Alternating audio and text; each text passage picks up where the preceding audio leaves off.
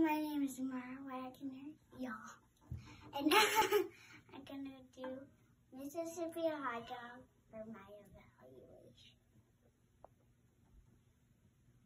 evaluation.